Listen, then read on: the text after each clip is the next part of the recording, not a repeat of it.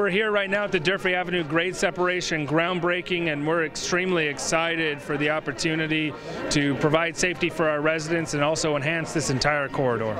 Today's groundbreaking marks the start of construction on a project to separate the roadway from the railroad tracks at the hazardous Durfee Avenue Railroad crossing.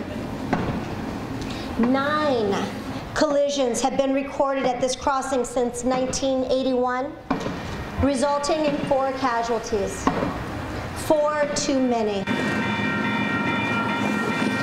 The grade separation project will minimize traffic delays for motorists and emergency responders. It will eliminate train horn noise, increase neighborhood property values, reduce air pollution from idling vehicles stuck at crossing gates, and improve the reliability of freight rail operations. I think this project has been in the works for several years. I, I want to say since I've been on council for the last seven years, this has been something that's been talked about. So it's been a long work in progress, lots of federal, state, local sources of funding and coordination, and we couldn't be happier for this opportunity.